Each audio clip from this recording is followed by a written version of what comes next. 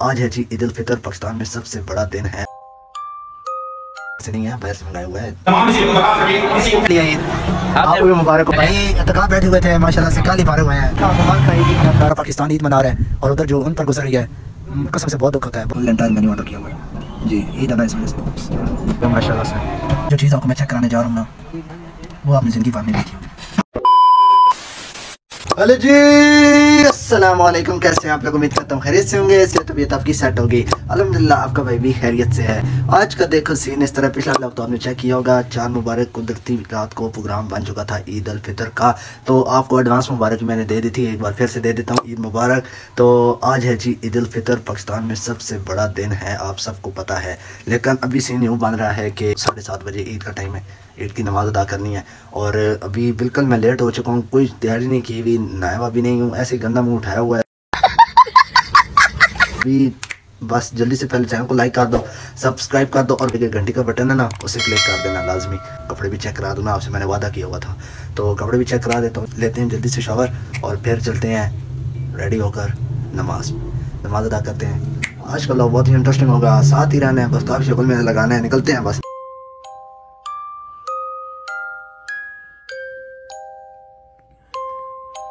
ये है जी हमारा सूट इम्पोर्टेड सूट है इधर से नहीं है बाहर से मंगाया हुआ है।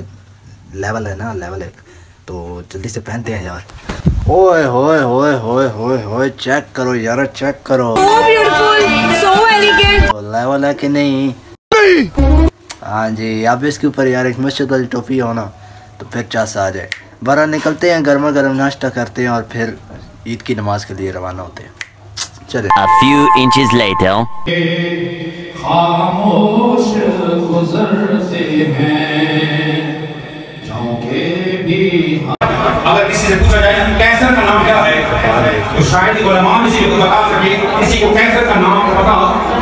Few inches later.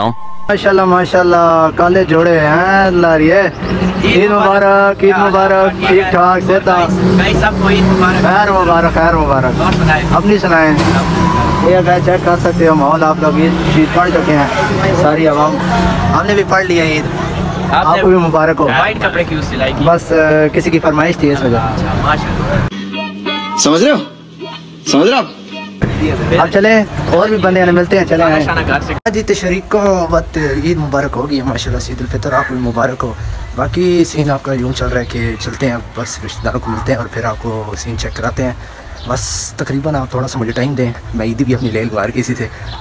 ए रहा नहीं जाता तड़प ही ऐसी है ना। यार जूते चेक करो दिल तो नहीं था मस्जिद से उठाने का नहीं उठाई कसम से ऐसे काम नहीं किया। अच्छा। हमको सिखा रिया है। ऐसी मॉल बनाना है ठीक है ना? टेंशन नहीं लेनी शुगल में आज काफ़ी लगाना है। बस एक बार इधर से फारूक हो जाऊँगा फिर आपको मिलता हूँ। Much, much, much later. चलिए गाइस सबको मिल के फारूक हो चुके हैं और आप आए घर की तरफ़। अब आराम करेंगे थोड़ा बहुत तो सीन अब ईद शीदी कहीं से इकट्ठी की है लेकिन अब कुछ बाकी हैं। इंशाल्लाह मिलेंगे उनको थोड़े से ब्रेक के बाद। हम अभी सोने लगे हैं। आप भी आराम करें मिलते हैं थोड़ी देर के बाद। बहुत भी आएँगे इंशाल्लाह फिर शुगल मेला लगाएँगे साथ ही रहेगा। आज का लोग बहुत इंटरेस्टिंग हो रहा है यार सपोर्ट हमने सारों से ज़्यादा करनी है ठीक है ना? छोड़नी नहीं है ठीक? चलो भाई देखो अब मैं क्या करता हूँ। A few moments later. तो मेरे भाइयों निकले अभी थोड़ी देर के बाद तो मेरे भाई चेक कर सकते हो ये तो घूम आया लेकिन हम अभी निकले हैं। आराम किया है बस लेकिन कोई फ़ायदा नहीं हुआ मैंने कहा ईद घर बैठे नहीं लग- गुजारनी क्यों हो? जी ऐसे हम किटा से घूम आए हैं। अच्छा। साइकिल लेके गए। क्या सीन था? नहीं मज़ा नहीं आया अभी। धूप शाम को जाएँगे अच्छा। अभी धूप है कपड़े भी है। ये भाई एतकाफ बैठे हुए थे माशाल्लाह से काली फारे हुए हैं। अल्लाह इनको कामयाब करे।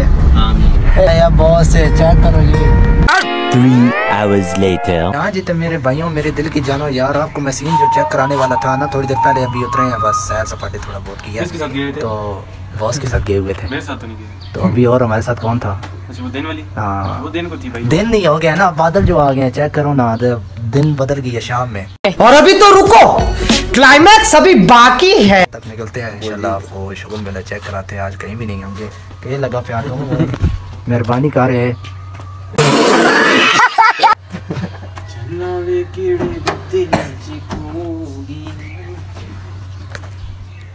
नामालूम अफराद।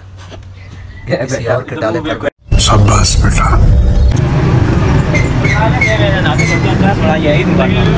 बट राजा ईद मुबारक। आपने मुझे बहुत ही मायूस किया है। बड़े कढ़ाई चला कुमार खान कुमार खान ईदी में ताज़ी इंडिया का इंडिया चला रहे ओ ओ ओ मैं कर याद रहे हैं आपको। पूरे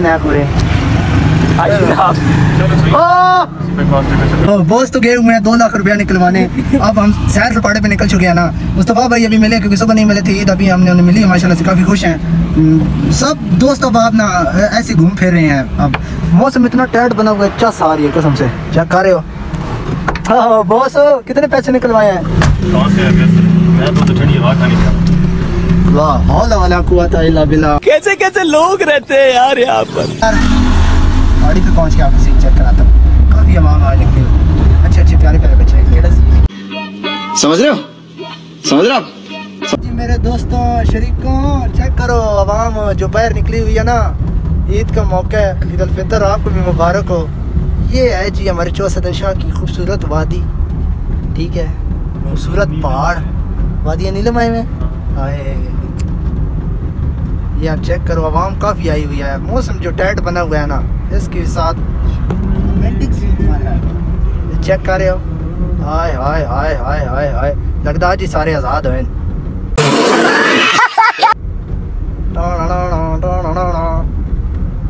चेक कर रहे हो? बाकी मौसम चेक कर लो माशाल्लाह full VIP mall One eternity later. तो शरीक को चेक करो ना यार बारिश शुरू हो चुकी है। हल्की हल्की बूंदा बांदी शुरू हो चुकी है। भाइयों सीन जो आपको मैं चेक कराने वाला हूँ ना अभी वो सीन आपको किसी ने भी नहीं चेक कराया होगा। सिर्फ़ आपका भैया आपको चेक करा रहा है। अल्लाह ताला की रहमत बरस रही है। चेक करो यार चेक करो। माशाल्लाह माशाल्लाह माशाल्लाह। ईद उल फितर का दिन है और अल्लाह ताला ने अपनी साथ रहमत बरसा दी है। चस आ गया यार चस आ गया। चेक कर रहे हो। बाकी माहौल आपको मैं बताऊँ तो सुबह ईद उल फितर अदा की है। उसके बाद रिश्तेदारों को मिला हूँ। थोड़ी बहुत ईदी इकट्ठी की है और जूते अपने ही आए। चेक कर लो यार जूते अपने ही आए।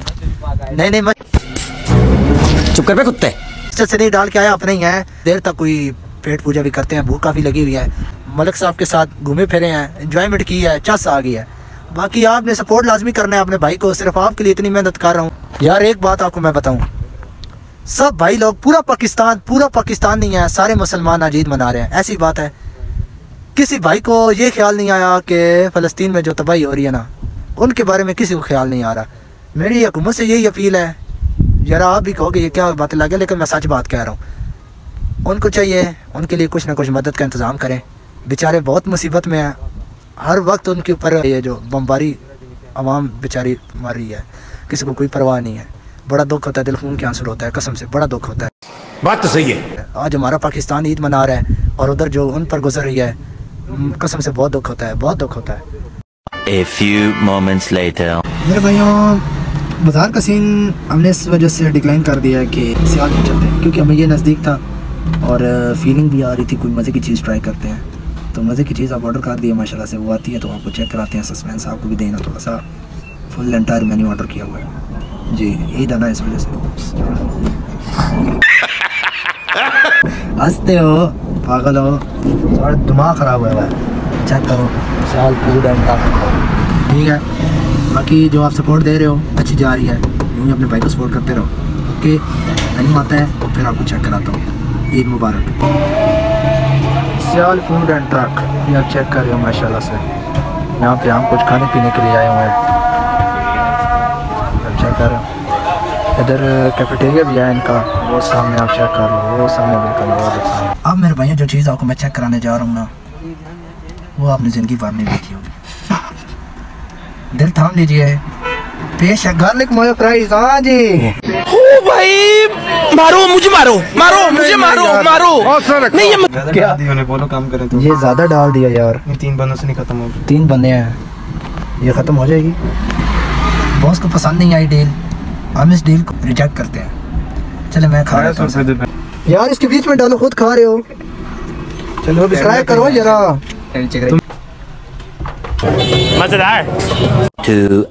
later.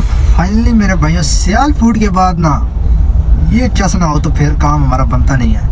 तो एक बार फिर हमने इसका चस्का ले लिया है। आपने पिछले ब्लॉग में भी यार इसका नाम नहीं बताया तो यार नाम आप गस करो। जिस भाई का नेम करेक्ट हुआ इंशाल्लाह उसको ये बोतल फ्री मिलेगी। ठीक होगा? आपको मैं बोतल पिलाऊँगा ये वाली। इसका आपने नेम बताना है ये आप चेक कर लो। नेम आपने बताना है। भाई भी पी रहे हैं लेकिन नेम आपने लाजमी कमेंट में बताना है। ठीक हो गया? क्या बात है सर? क्या बात है सर? बाज़ार में रौनक लगी हुई है। एक बार फिर आपको कहते हैं ईद मुबारक। तो बाज़ार में रौनकें लगी हुई हैं। ठीक हो गया। जिशान सुबह सर बेकर चौसठ शाम में अभी नई नई बेकरी खुली है लेकिन इनकी काफ़ी प्यार है काफ़ी मज़े की चीज़ें माशाल्लाह से दे रहे हैं। और लास्ट में मैं आपको व्लॉग एंड करते वक्त बताता चलूँ कि हेयर कटिंग वाले सैलून वाले नहीं। ईद पर वो इतने देखो अब नखरे वाले बन चुके हैं मैं आपको क्या बताऊँ भाई।